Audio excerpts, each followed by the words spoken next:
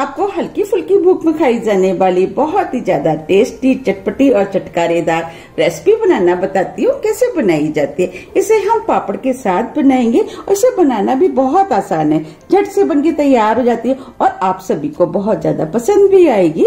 आप इसे पापड़ की चाट या पापड़ चूरी भी बोल सकते हैं। पापड़ की चाट बनाने के लिए ये हमने मूंग की दाल के पाँच से छह पापड़ लिए हैं। चलिए रेसिपी बनाना शुरू करते हैं। सबसे पहले हम गैस पे पापड़ को भून लेते हैं। पापड़ों को स्लो मीडियम फ्लेम पे भूनना है। हम पापड़ों को गैस पे भूनना है और आप चाहें तो इसे तल भी सकते हैं। हमने मूंग की दाल के पापड़ लिए हैं। आप चाहें तो उड़द की दाल के पापड़ का भी इस्तेमाल कर सकते हैं।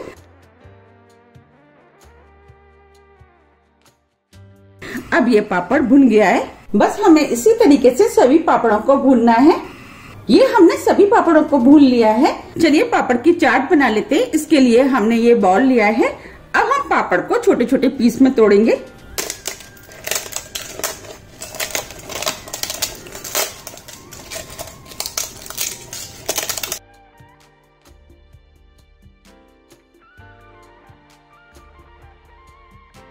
हमें पापड़ों की ज़्यादा चूरा नहीं करनी है, बस हमें इसी तरीके छोटे पीस में तोड़ना है। हम सभी पापड़ों को इसी तरीके से तोड़ लेंगे। ये हमने सभी पापड़ों को तोड़ लिया है। अब हम इसके अंदर दो बड़े चम्मच प्याज डालेंगे, जिसे हमने छोटे छोटे पीस में काट लिया है। दो बड़े चम्मच टमाटर।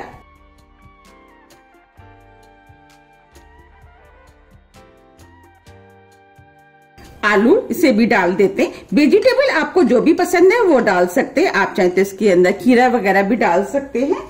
दो हरी मिर्च मिर्च आप अपने टेस्ट के अनुसार थोड़ी सी कम या ज़्यादा भी कर सकते हैं।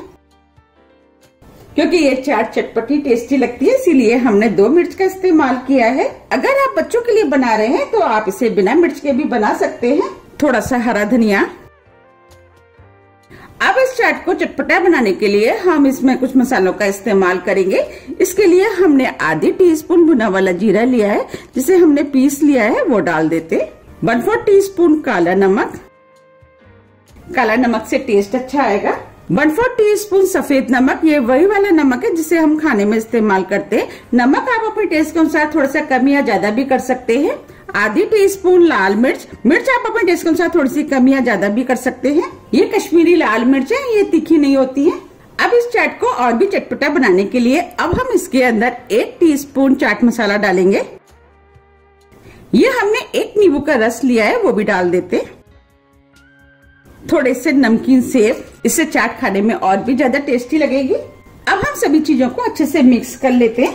ये चाट खाने में बहुत ही ज़्यादा टेस्टी लगती है, बहुत जल्दी भी बनके तैयार हो जाती है।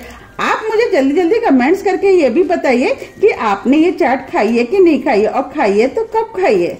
देखिए चाट देखने में कितनी सुंदर लग रही है। ये खाने में भी बहुत ही ज़्यादा टेस्टी लगती है। आप इसको एक बार ज़रूर ट्राई कीजिएगा। आपको भी ये चाट बहुत ज़्यादा पसंद आएगी। अब ये चाट बनके तैयार हो गई है। अब हम इस चाट को सर्व कर लेते हैं। देखिए, कितनी बढ़िया चाट बनके तैयार हुई है। इस चाट को बनाते समय हमें एक बात का ध्यान रखना है। आपको जब भी चाट खानी है, उसी टाइम चाट को बनाना है। आप देख पा रहे कितनी बढ़िया चटपटी और चटकारीदार चाट बनके तैयार हुई है। आप भी इस चाट को बनाइए। फिर मुझे कमेंट्स करके बताइए कि आपको ये चाट कैसी लगी। मुझे उम्मीद है कि आपको ये चाट बहुत ज़्यादा पसंद आएगी।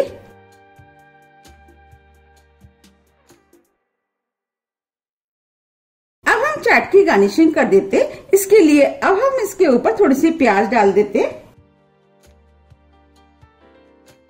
थोड़े से टमाटर, आलू, थोड़ा सा हरा धनिया, थोड़े से नमकीन सेब।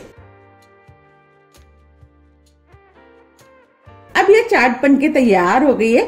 आप देख पा रहे हैं, देखने में ये चाट कितनी सुंदर लग रही है और ये खाने में भी बहुत ही ज़्यादा टेस्टी लगती है। और आ रहा है ना, देखते ही मुँह में पानी। मुझे तो ये चाट बहुत ही ज़्यादा पसंद है। आपको ये चाट पसंद है कि नहीं, मुझे कमेंट्स बॉक्स में लिख के ज़रूर बताइएगा। और आप ये भी बताइए कि आप इस चाट को कब बना रहे हैं। अगर आपको मेरी रेसिपी पसंद आती है तो आप ज़्यादा ज़्यादा फ्रेंड और फैमिली के साथ शेयर कीजिए।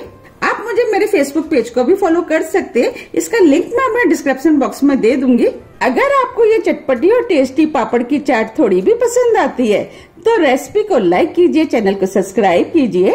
सब्सक्राइब बटन के बगल में जो बेल आइकन है, उसे आप प्रेस करना ना भूलिए, जिससे कि मेरी आने वाली वीडियो का नोटिफिकेशन आपको सबसे पहले मिल सके। अब हम फिर मिलते हैं इसी तरह की टेस्टी रेसिपी के साथ। जब तक के लिए, नमस्कार।